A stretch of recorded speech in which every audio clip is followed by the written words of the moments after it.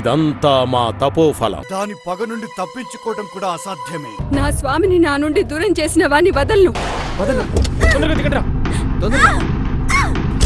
నా కళ్ళతో చూశాన్రా. ఆ దుర్మార్గులను వదలకు దేవి. చంపేస్తాను!